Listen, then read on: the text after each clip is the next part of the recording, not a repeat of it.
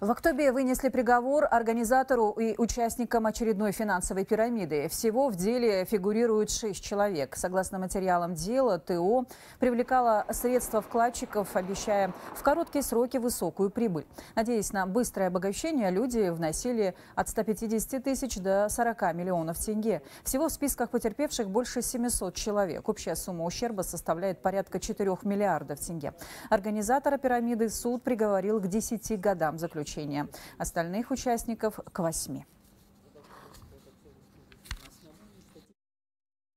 Окончательно Мамедову назначить наказание сроком на 10 лет с лишением права занимать руководящие должности в коммерческих и финансовых организациях сроком на 7 лет на основании статьи 14 части 1 Уголовного кодекса Республики Казахстан признать действия Хаймахамбетова рецидив преступлений.